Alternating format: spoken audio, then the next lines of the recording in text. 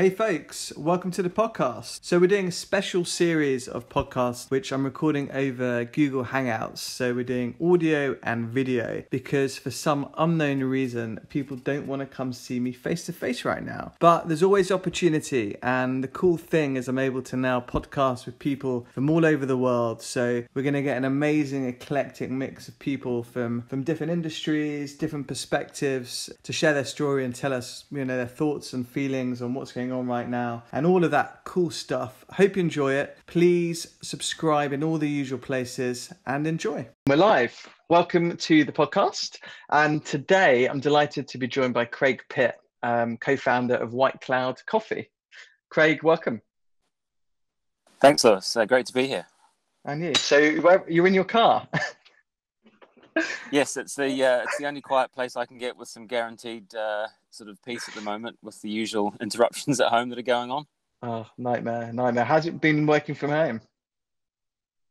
Uh, not too bad. Um, i have been home based before, and uh, so the transition wasn't wasn't that difficult. But um, we had a bit of fun with it. My business partner and I uh, made a short video to kind of, I guess, you know, poke fun at what's going on. Um, so yeah, yeah it's, it's it's not been too bad. Yeah, it's crazy. It's crazy. I'm used to just. I, I really like the, the the personal interaction. I love like going and having a coffee or a lunch and like the face to face thing. So it's been quite interesting adjusting. I have to be honest, felt a lot more social now. I'm doing so many video calls and stuff, and just reconnecting with people that I probably should have reconnected with like long ago. It's been quite interesting actually. Yeah, I guess it's it's having more. It's, it's weirdly feels like having slightly more time to catch up with you know former colleagues or you know people who you needed to chat to. Um, yeah. But then some sort of the. I was chatting with a, a friend the other day who said the video calls are good, but they tend to be a little bit more inefficient.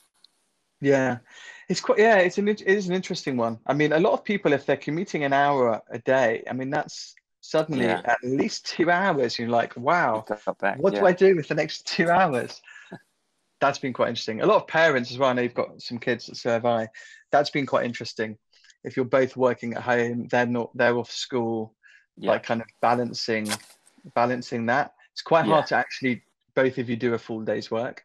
Oh yeah, I, I actually think that's non impossible. And I read a yeah. really um, it was it was a, a thought provoking quote the other day that said um, a parent, a teacher, and a full time job are three totally different roles, and you know you can't try and do those three things yourself all in one day because it's just too much pressure. And i think yeah. there's a lot of parents you know working full time trying to homeschool the children and, and play all those roles and it's it's actually really challenging. So yeah tough. I spoke to um spoke to a ceo um yesterday actually and he he said to his staff um parents i don't expect you to work more than four hours a day. Yeah.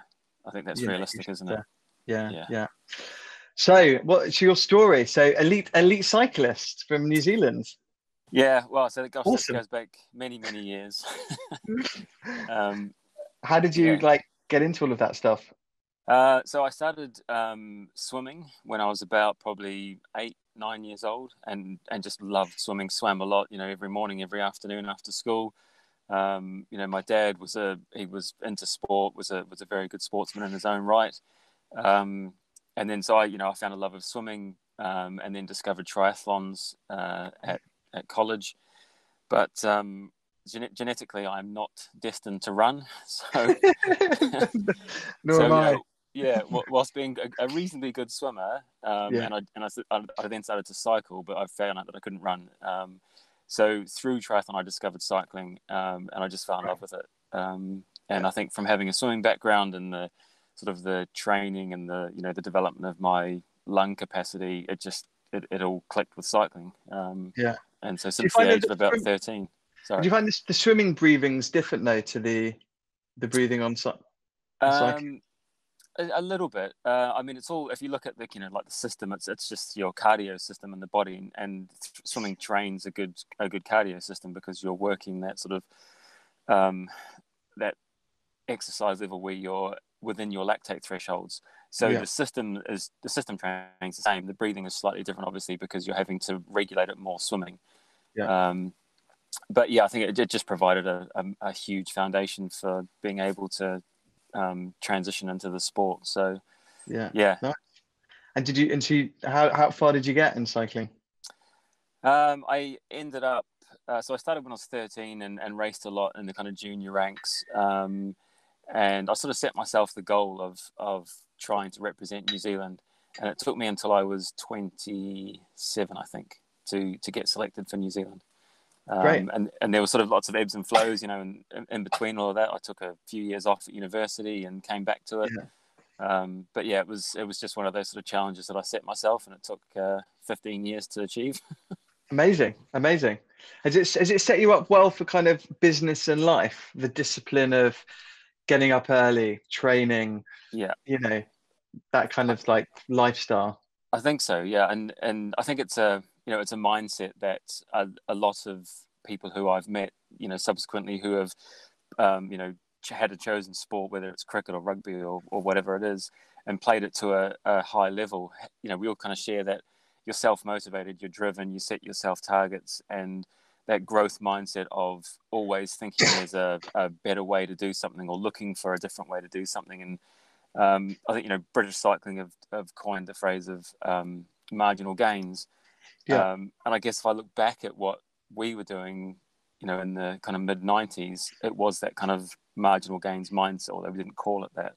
Yeah. Um, You know, one of our team managers, when when we were in our early teens, you can't ride open, you know, like big gears on a bike because it damages your knees. So you have a restriction. And our team manager figured out that by changing the tires from a 21 millimeter tire to a 19 millimeter tire, we could max maximize the gear we were riding, and you know, which gave us an extra, I think, um, uh, 30 centimeters per pedal stroke, which over a race was an insanely, you know, a big amount. Little Yeah. things like that. That, yeah, and that all translates into you know the, your work culture as you grow up and um, and just the way you approach things. So I think it does help Yeah. a huge amount. Brilliant. And were you competing around the world with New Zealand? Uh, I, I only raced within Australasia. Um, Okay, New yeah. Zealand. Yeah, there's it's sort of a you know it's a tiered level, um, Yeah. and they they sort of select teams to race at certain levels, and as you progress, you get up to obviously Commonwealth Games and Olympic. I didn't quite get to that level, Yeah. um, but you know a lot of the guys I was with who were a lot better than me went on to ride for pro teams, ride the Tour de France. Um, Amazing, amazing. yeah, Yeah, I just watched um well last year actually Icarus. You know the um yes, the state sponsored Russian yeah, doping um stuff. I mean, fascinating, fascinating program, and really Yeah. eye opening. I don't know what what goes on there. Yeah, and uh, yeah, I mean, cycling is a um, it's a brutally tough sport, mentally and physically. And uh, yeah, I think a lot of people who can sit in their on their sofas and, and say, well, you know, d- doping in sport is, is this or it's that. Um, they'd probably struggle to ride to the shops to buy a newspaper. Um, you know, yeah, yeah, let alone uh, you know a, a, a, even a seven day stage race, which was the longest one I ever did. You know, compound fatigue is something you- when you're doing, you know, 80, 100 mile days back to back. Um, you know, you wake up on a Wednesday or Thursday morning, and you you just can barely get out of bed, and you're thinking, you know, gotta get back on. yeah. And and you know, uh, there was a realization in one of those races. I turned to my one of my roommates and said, I kind of get, you know, how drugs found its way into the sport because it's just so hard. Yeah, Um, and then you, But you, know, also- you put the pressure of it, it's people's, you know, it's, it's their livelihood. Um, and Yeah, you know, yeah. if you don't if you don't win, you don't earn money. yeah. You can see what you can easily see why many go down that that path, right? Because your your mindset is on winning, right? Yeah. I mean, it's not the taking part; it's the winning, right? Yeah. Ultimately, And, and and and at some point, you know, you either exit the sport and go find a you know what whatever job you think you can do as a you know having given most of your life over to it or you make a really really hard choice i'm not condoning i never i never took any drugs at all um, but you know it's such a hard sport that you can i can kind of you know just, uh, yeah don't agree with it but i can kind of Yeah. understand some of the Yeah, yeah. mindset behind it Yeah. but coffee must have driven you most of the way anyway. Nice cup of coffee.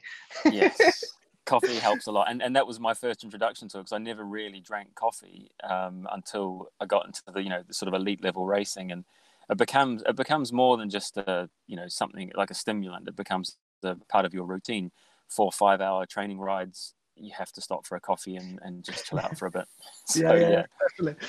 That's cool. I'm not not nearly the same level, but I've done a couple of like five day cycles, So I did like uh, around Southwest India, and then I did Vietnam to Cambodia. It wasn't a race; it was more like a charity ride. Yeah, Um, but it was still like you know 100k a day, getting back on the saddle.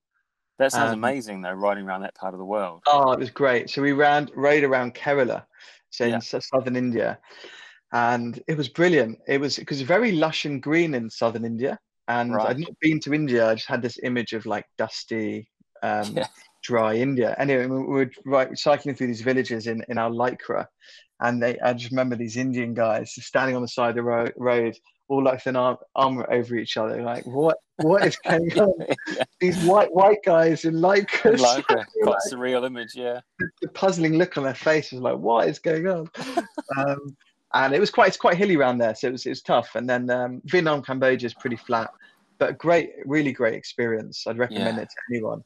how, Um, how, how many people did you do, did you do that with? So there were about I'd say, sixty to seventy. Wow. It was a really well organized. It was for charity. We raised money, and uh, and it was well organized. And they had little like um, like stops at different temples, and you know, Yeah. So it was it was you could go like so almost like different stages in a day, and there was always like a group where really competitive, so you could go really hard, Yeah. or if you want, you could just chill out and have a chat and just cruise a little bit. So it's quite nice. You could kind of dip in and dip out. Yeah. Um, but the I mean, for me, I love I love moving and being active. I, I run marathons, not very fast, and do CrossFit and, and those kind of things. But but for me and for work, um, I love the the discipline of of sport Yeah. and and the men, the mental side as well. It was really like it, I really switch off when I'm doing something like that, whether it's CrossFit or run or cycle.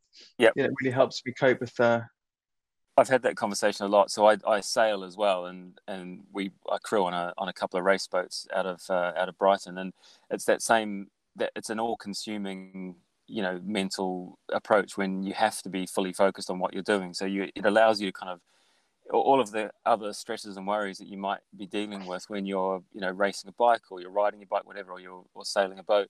You have to be fully focused in the moment, and that is uh, it, it just sort of frees you up from everything else that's going on. Yeah, yeah.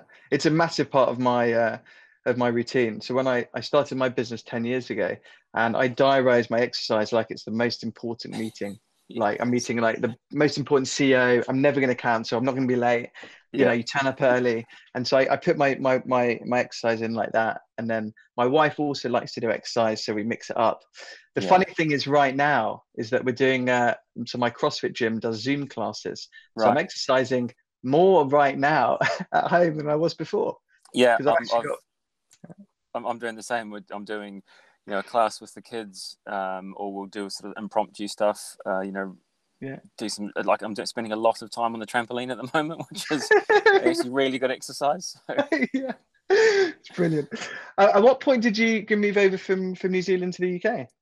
uh, I came for a, a short kind of two year stint, 99 2000, and then went back to New Zealand, um, and then came back again in 2005. So I've been here, you know, since 2005. So coming up 15 years in in August of this Brilliant. year.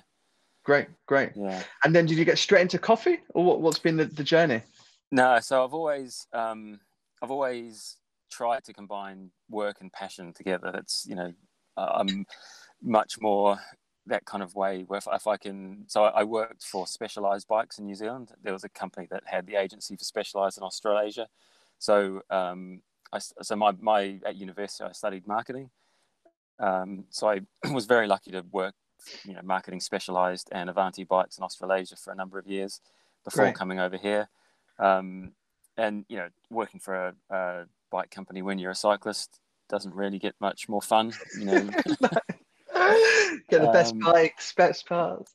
exactly, yeah. And you know, I got to work with the R and D team, and you know, they'd develop a new f- a frame or something, and I could take it out and test it and race it and give them some feedback, um, which which was good. And then came over here, um, 2005, and again was very lucky to get a job at T-Mobile, Yeah. um, in their marketing department. Now, T-Mobile at the time had a pro cycling team, so you know, of course, I was well aware of that.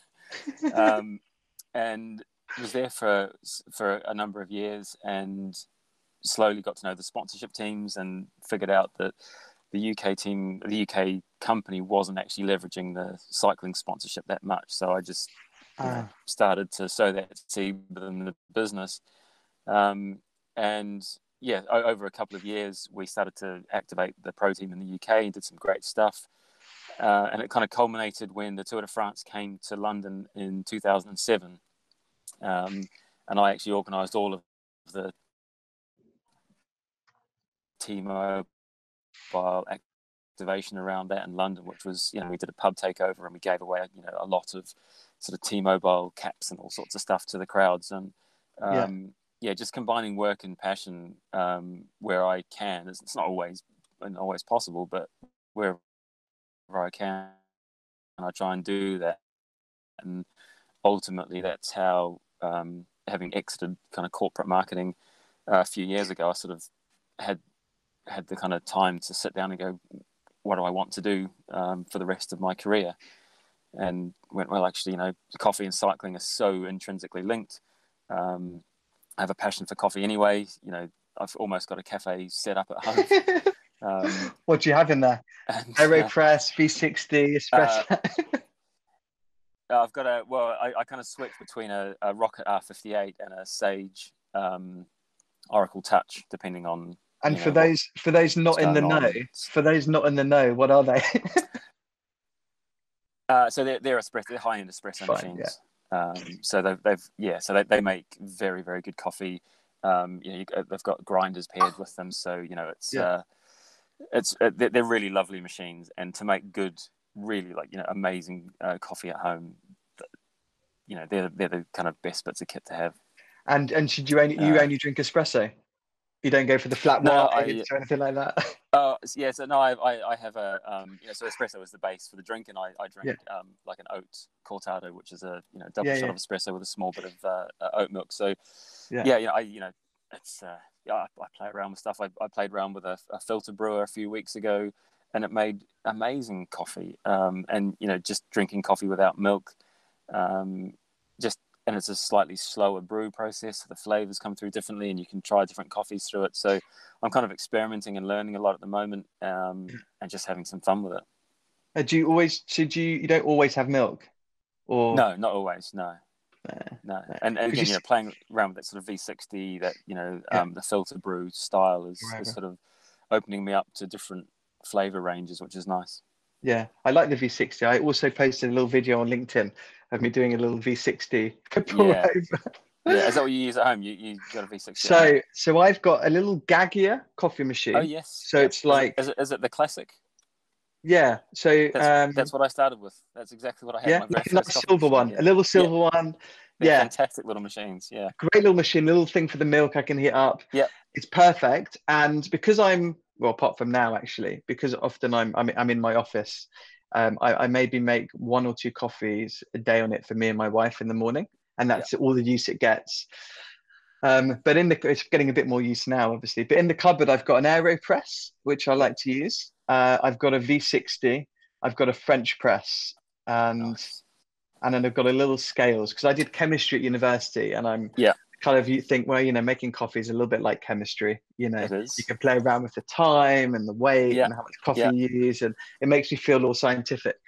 So. well and and you've kind of hit on the the most overlooked but possibly most important bit of kit which is a set of scales. Yeah. And you know that's the that's the one addition to most people's uh, coffee setup regardless of, of what they're using that will make a huge difference in, in how yeah, the coffee tastes. Yeah uh, yeah. I love it. I love it. I probably drink too much. Well, in fact, we love it so much that, and this is how we connected. I got all my my team a subscription to your coffee, which that's right. Um, I do have here actually, which we might as well show everyone. Uh, there we go. Amazing. And it's doing. It's yeah. really good. It's really good. Thank you. Yeah. Uh, it's one of those things in the office where we, for some reason, we all like coffee, and you know we get like a nice a nice bag and there's a coffee shop downstairs so people mix it up a little bit.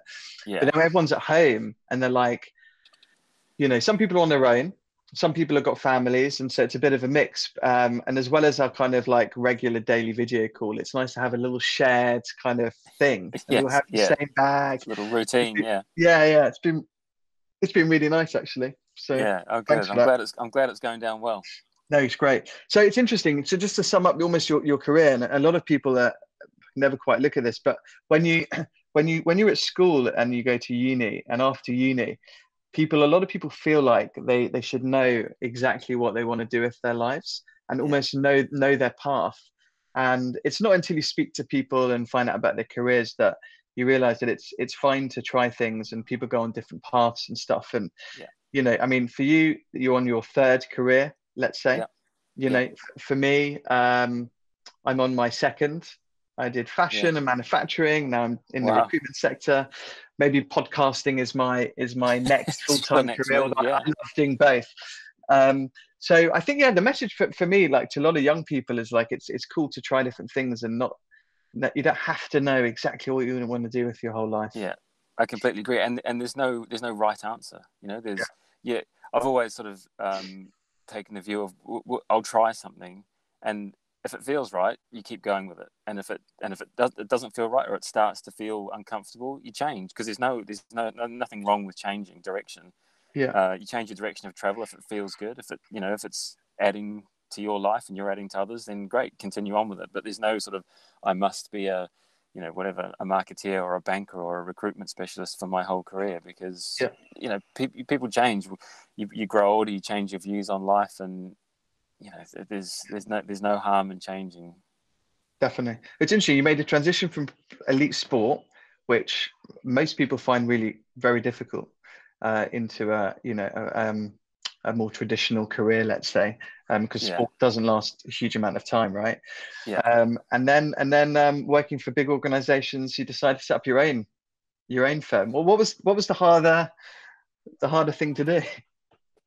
Um, I, I definitely think um, so. You know, sport for me was always uh, because you're sort of in control of your own. You know, you're, you're working with coaches and nutritionists, and um, and I was very lucky. I had a very very supportive family.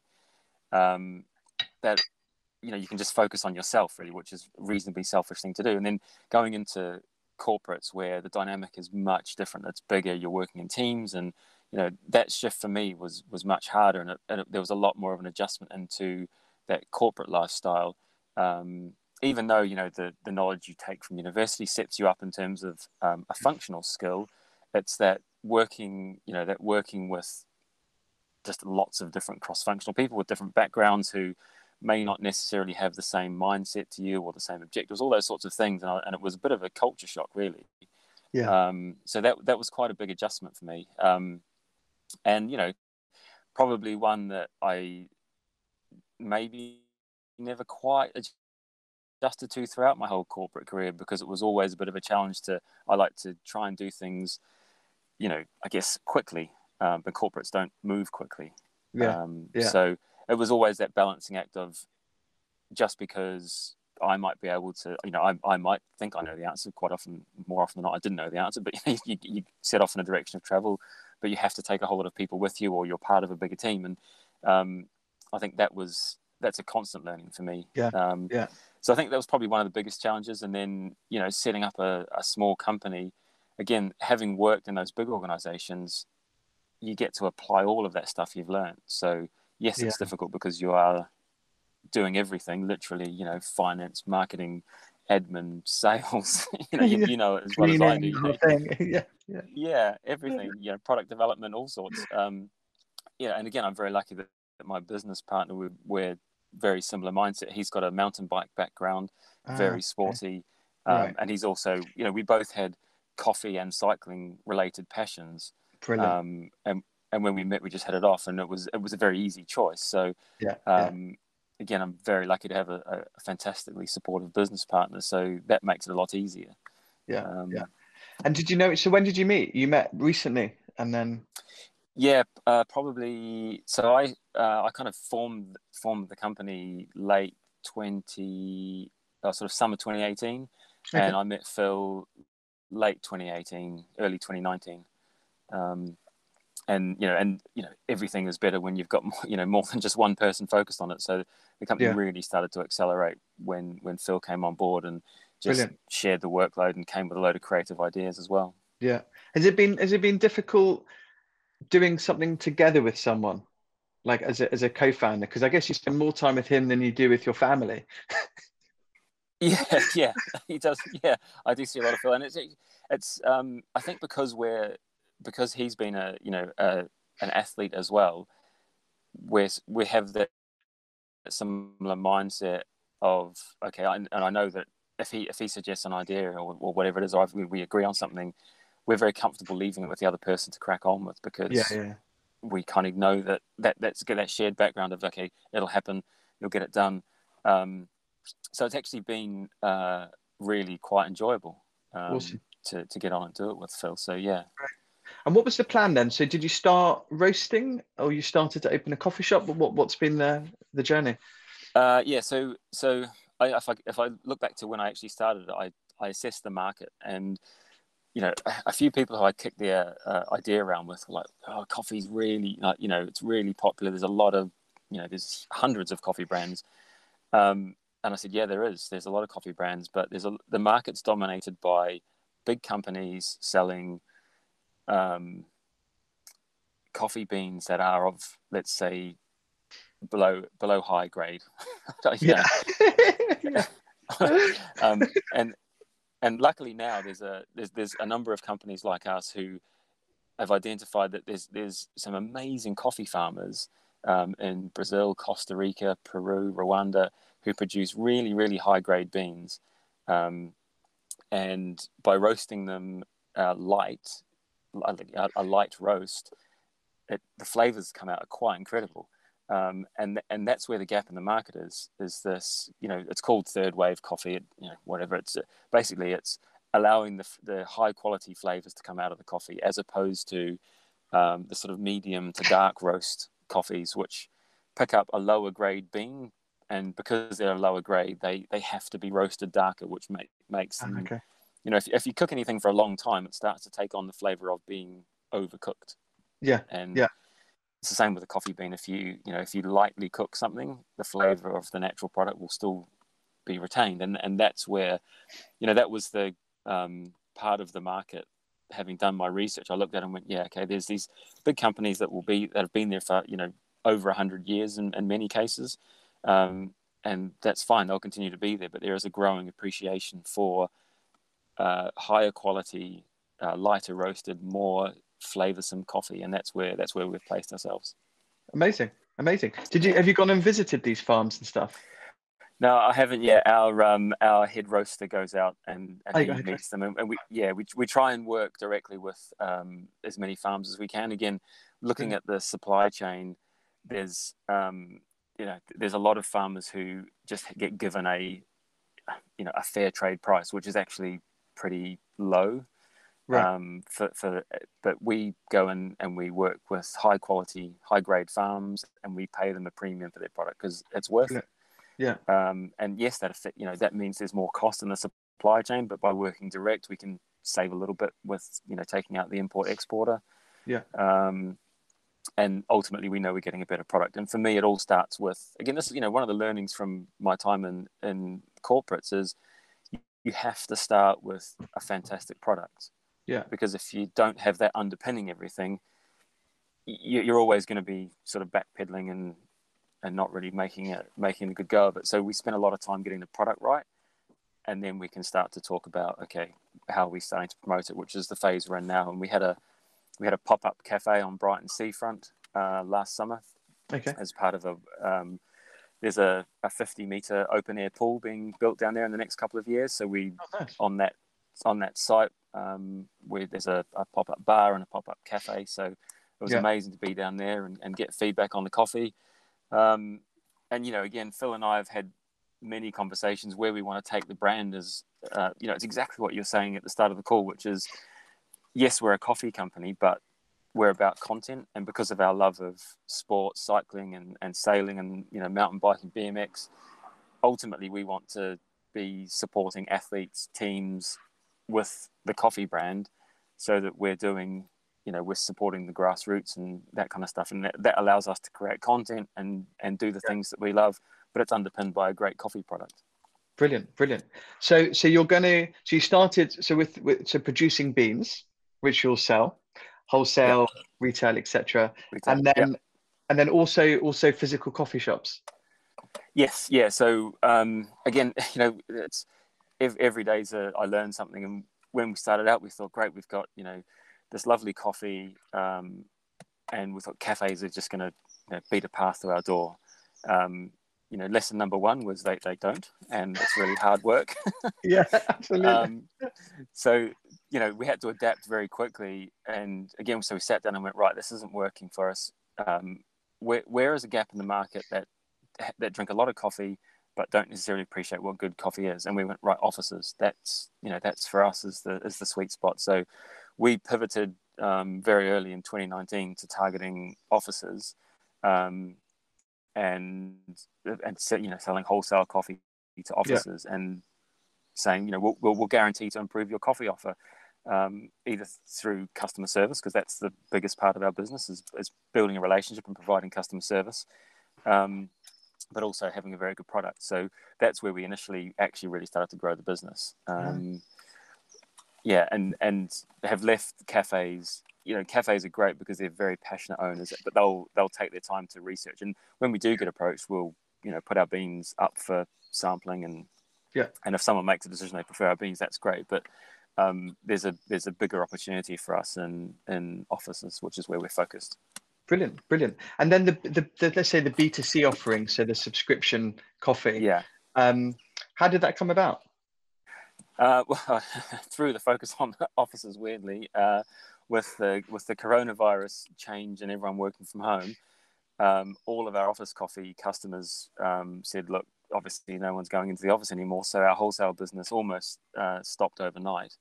Um, and we, we had as part of our plan this year to launch a subscription model. Um, we just pulled that forward. Um, right. And said, okay, everyone's working from home. We need to pick up the demand we've lost from offices with, yeah. you know, people, and, and you know exactly your story. You you've bought coffee for your uh, colleagues, yeah, and that's happened a lot. Um, we we got our subscription service launched, uh, I think three weeks ago, and you know luckily fortunately we've done some fun promotions with it and it's it's been picked up really really well. So brilliant. yeah. It's a nice time to innovate hey when we're at home. Well, it is yeah. And you know thinking time and time to focus and yeah you get disrupted with family stuff and uh, and that sort of stuff. But you know you can you know I'm, I am not averse to working into the night to get something done and yeah. You know. No it's, good. There's uh, always a, every every yeah. cloud sorry to um a little pun on your on your brand, but every cloud has a silver lining, right? and well, uh, that's exactly it, and and that's what you know on on our website we say every cup has a silver lining, and that's you know and that just to pick up on the direct trade relationships because we're trying to support the you know the farmers and pay them a, a bit more than they would get otherwise, and just working with the communities and building relationships with our customers, and that's it's you know coffee stimulates conversation and relationships, and that's what we're trying to build here is you know definitely. And that's where the silver lining comes in. And yeah, working yeah. from home does have a silver lining. It's it's forced us to adapt again. And you know, if the, the last sort of 18, 24 months, it's been far from plain sailing. Um, but the, the common theme is adapt to whatever's happening. Yeah, no, very true, very true. What's the supply lines like now from for, for the for the beans? Have they have they been yeah, affected a bit? Or? They're they're okay. Uh, they're okay at the moment. Um, so the the coffee comes in in a, in a green bean format, um, and there's there's decent stocks. Uh, you know, so there's no there's no immediate risk of um, you know because because coffee beans are a um, seasonal product. So the you say in uh, Costa Rica, for example, their picking season was um, sort of early February. Um, you know, so there's there's stocks of that product that are arriving, um, and you know, quite often we'll we'll pick up, say, you know, half or a, a significant amount of a farm's crop, and Oh, okay. you know, we'll hold that or we'll buy it in conjunction with some other companies and, and yeah. away we go. So yeah, there's there's a decent amount of, of good quality coffee that we can we can source.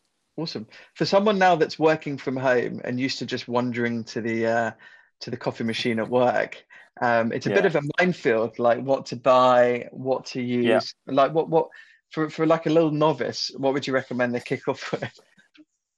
Um, I think you know it all comes down to like like everything in life, time and money. Um, so, uh, you know, an e- a really easy way to get started is exactly what you would you do with your V60. Um, yeah. You know, uh, you can you can get a um, a plastic V60 brewer for about six pounds. Yeah. Um, and the filters are, you know, you get 100 filters for a few pounds as well. And th- then it's just, okay, and you don't have to buy a special kettle to pour over or scales, but that'll get you started. At, uh, you know, a heap dessert spoon of coffee is about the right amount for one cup. Yeah. Um, and you just play around with it. And, you know, in terms of simplicity, that's a really easy way, cost effective way to get into it. And you can get Yeah. really, really nice cups of coffee doing, you know, doing it like that. Um, you know, all the way up, you know, I, I love an AeroPress. Um, if you need to get out for your daily walk. So Phil, uh, my business partner, did a great video uh, last week. He went for a walk. He lives on a farm near Lewes. Took his AeroPress with him and and did took, did a video of just to because AeroPress can be a little bit technical, but he simplified it really nicely, and um, that's a great way. And and- whenever you know, historically when we've gone on holidays or cycling trips or sailing trips, or whatever, I'll always take the AeroPress because Really? it makes Yeah. really good coffee. Yeah, and it's, It's brilliant. lightweight and you can just throw it in your bag. Yeah, and it's really robust. It's great. For anyone Yeah. that doesn't know, it looks a bit like a test tube. Um, I think they're only like 15 quid or something, 20 quid maybe. Yeah, they're they're, they're about they're about uh, twenty eight or thirty, I think. Yeah, yeah, they're brilliant. Yeah. I was actually down uh, in Lewes. Um, I ran the Steyning Stinger trail run. Oh yeah. I don't know if you've done it uh, in, uh, it must be February. Uh, February, yeah, February now. Uh, uh, it was pretty muddy. If anyone's keen, Yes. get on it. I bet. Yeah. yeah. No, I, I can't I can't run, so I, I I tend to stay away from those sorts of running events. Yeah, yeah. cool. The Aeropress, amazing. Well, look, thank you so much for uh, for joining me from the car, and uh, yeah, it's my pleasure. it's it's great to hear you know people that are pivoting and like always thinking about different things to do. Um, you know, when these unexpected things from Mother Nature hit us, but um, it's great. Yeah. How- can uh, how can people find you if they want to get a subscription and, and all that stuff? Uh, so the the website's the best place. So whitecloudcoffee.co.uk um, is where we we retail all our uh, products.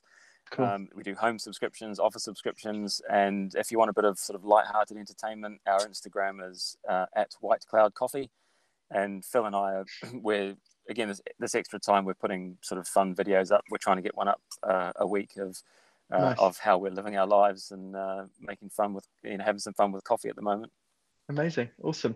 Well, thanks again, um, and uh, keep up the good work. And I look forward to getting my next bag. Yeah, thanks. Liz. Thanks for having me on. I really appreciate awesome, it. pleasure. Good to speak to you.